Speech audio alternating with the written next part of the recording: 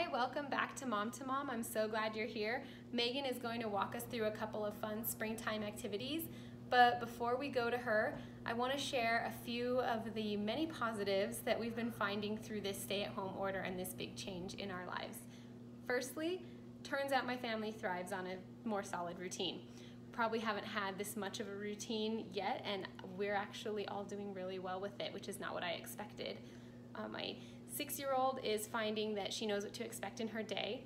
My one year old is taking more consistent nap times, which is always good. Uh, we are sticking to a loose schedule between about 9 and 2 in the day uh, where my daughter knows what to expect. I know what to expect. There's really no argument against it. We say, well, it's 10 o'clock school work or it's 1 o'clock, that's supposed to be cleaning time. We look at the posted schedule. There's really no arguing, it's just on the schedule. Secondly, we are eating at home more, eating out less.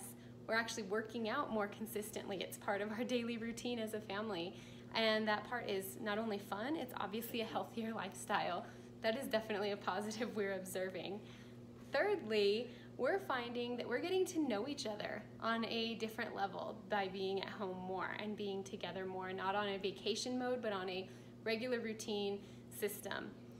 Turns out it's really good. My outgoing social butterfly, she's able to actually thrive on being home She's doing much better than I expected, and I get to be a part of her creativity and learning daily, which is super fun to watch the little brains work.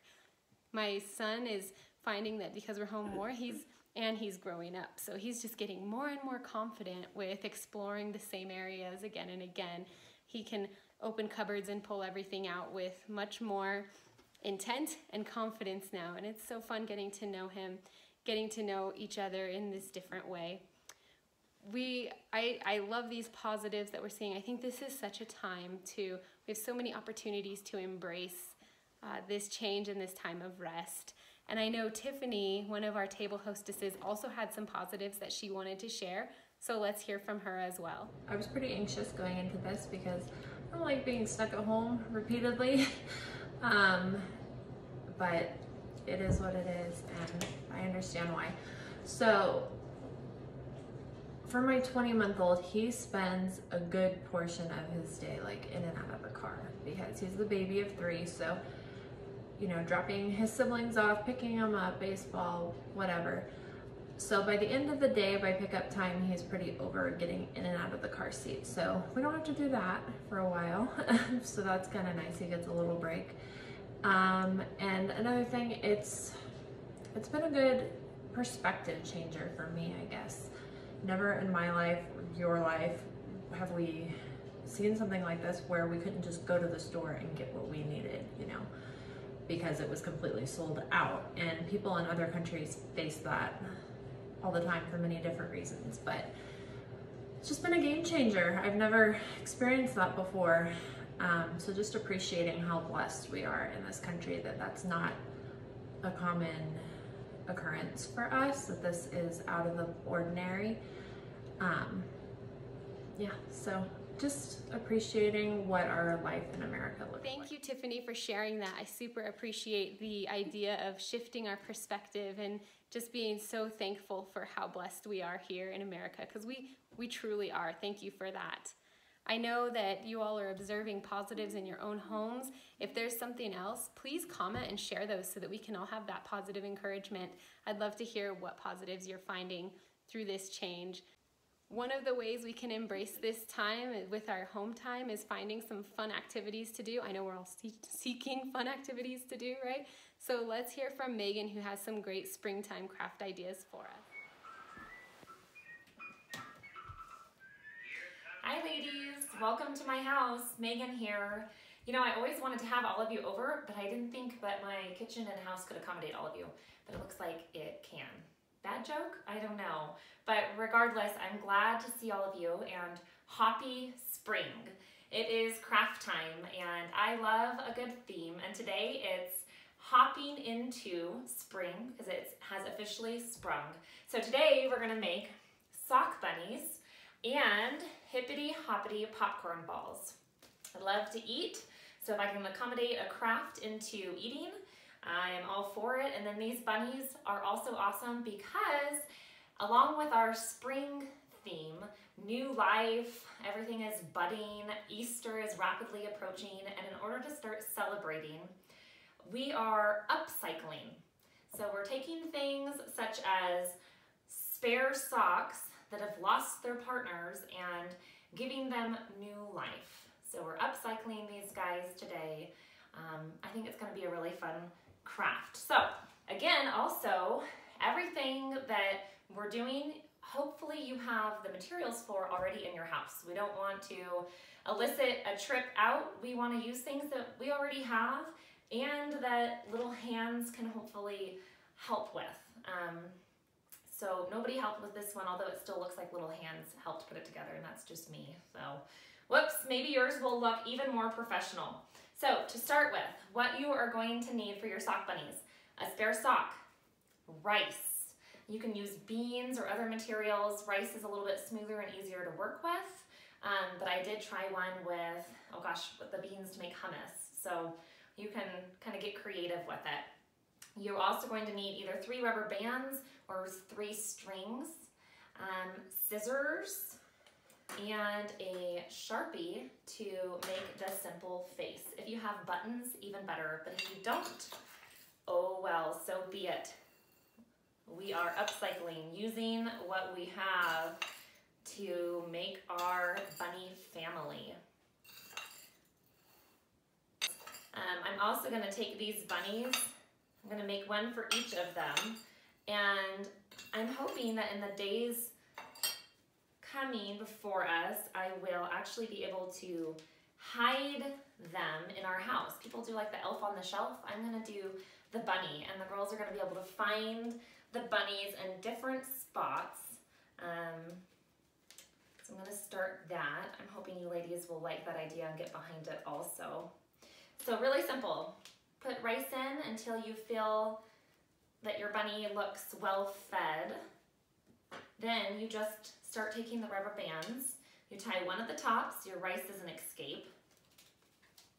And then you can kind of wiggle this midline in. So he feels like me trying to squeeze into my pants sometimes. Here we go, hold on. Give him a nice little waistline here. Band it together. Okay, my little happy bunny. There is the, the bulk of the work is done. That's why this is fun. It goes quick. The kids can help. If you don't like the way it turns out, unwrap them or untie them and start again. Now I'm gonna add a little bunny cottontail to this design here. Here we go. That's everybody's favorite part of the bunnies, right? Little cute tail. Okay.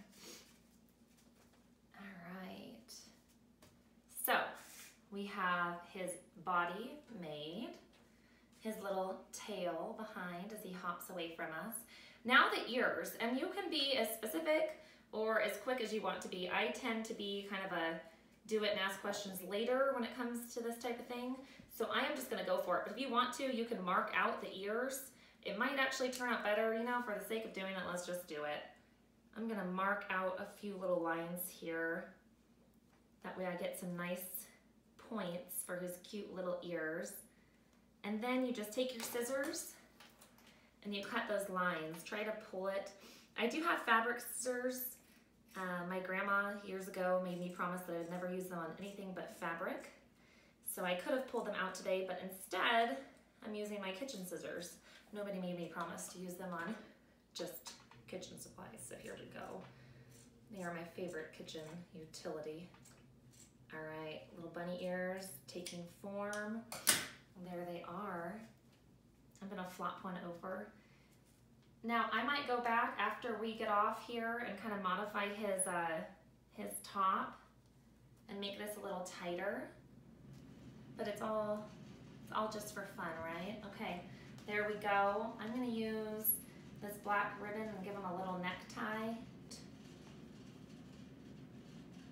These are definitely fun little bunnies. And then the eyes, here we go. One, two, So my daughter would say one, two, three, but no, only only two eyes. Here we go, and a little nose. Boop.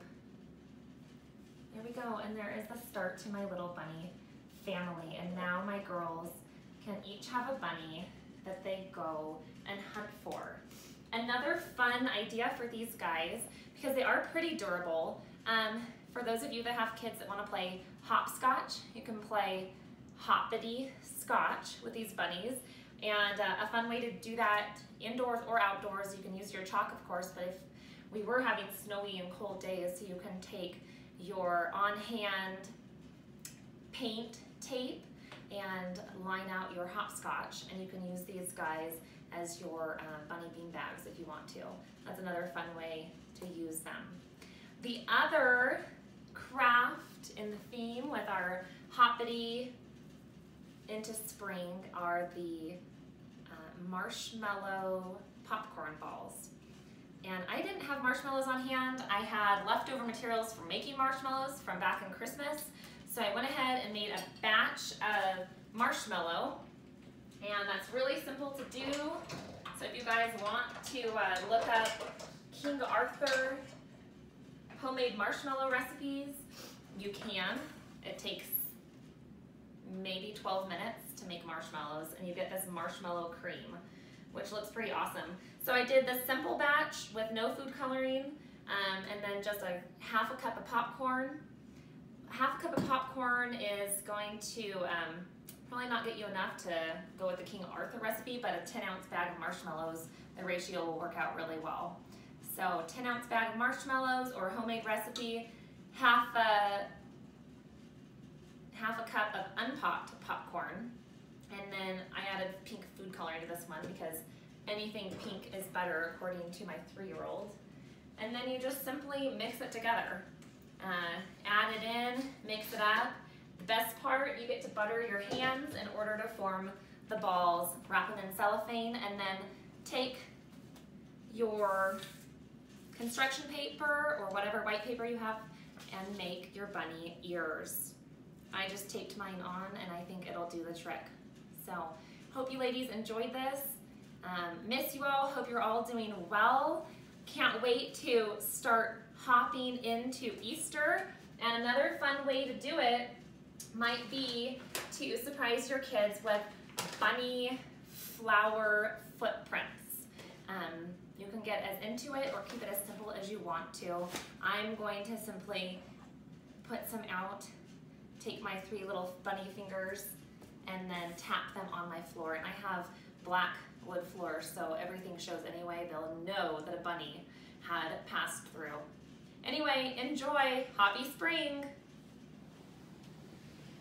You, Megan. How fun. I'm so looking forward to making those cute little bunnies, and I'm also looking forward to eating popcorn. A couple of announcements before we go. One is if your child attends Sunday morning and or, and or Tuesday nights at Hillside Church, that curriculum and some added activities are available on the Hillside Church website, which is hillsidechurch.com under Children's Ministries. There's some fun stuff and you get to see the videos and worship songs that they're used to doing, which is fun to watch. Also, you can find it on not only the church's website, but on the Kid Venture Facebook page. So if you're not already a part of that, go ahead and find it. It has some great resources and some encouragement for the parents and some activities for the kids as well. Also, Hillside Church is continuing to stream Sunday mornings, so you can still attend church from the comfort of your own couch, from the comfort of your own home, or wherever you may be. Uh, so you can go ahead at 8:45, log in, or if you need to watch later, you can. That's at hillsidechurch.com. I'm so glad you could join us today. I'm looking forward to next time and hearing from more of you. I miss you all, and I'm so glad that we get to be online together.